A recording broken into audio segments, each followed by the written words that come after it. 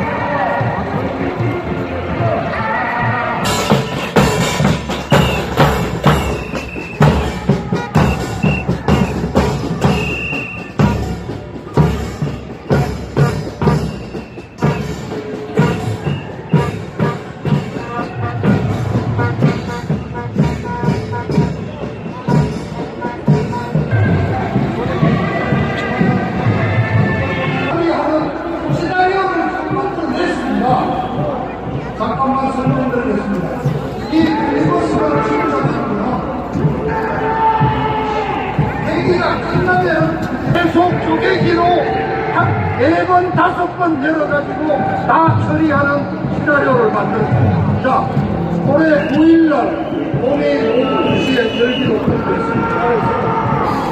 나머지 뽑아는 또 16일부터 또 시작하고 나흘짜리 임시국회를 다섯 차례 열어서 이달 28일까지 베스트 브레이크 들어가 있는 유치원 3법 이런 것까지 검경 수사권 조정까지 큰 환호의 박수 해주십시오. 왔다, 왔다.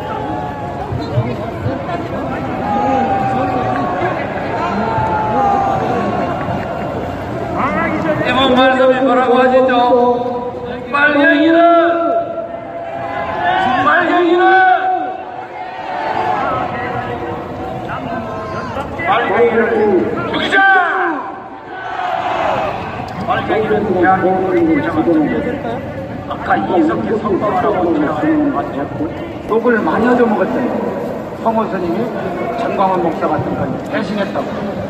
어제 저녁에 조, 조덕재 TV랑 생방송을 했는데 아, 거기 보니까 나는 박근혜 대통령 석방, 탄핵은 가녀, 탄핵은 배신, 이런 해외 정당, 자유한국당, 여러분들이 국회의원에도 저런 것들 나는 낫지 않습니까?